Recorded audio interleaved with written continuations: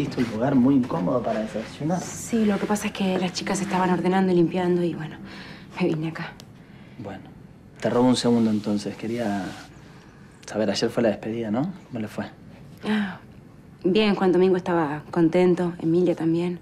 Y Osvaldo se quedó a cargo del bar. Es un pelo en el ojo. Gracias. ¿Está rico el desayuno? Sí, ¿querés una tostada? No, no, no, no. No, no ya desayuné, tempranito. Después de montones de papeleo, por fin pude cobrar mi primer sueldo de la policía. Así que llené la heladera. Eh, podría invitarte a cenar, que no tendría que pedir ni sal, ni pimienta, ni venir a buscar nada acá a la despensa. Bueno, me alegro que, que todo vaya bien.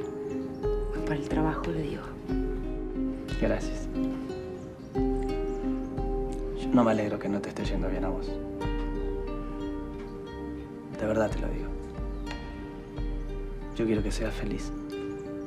No importa al lado de quién estés. De hecho, nosotros ya estamos divorciándonos. O divorciados, no, no, no sé si firmaste o no.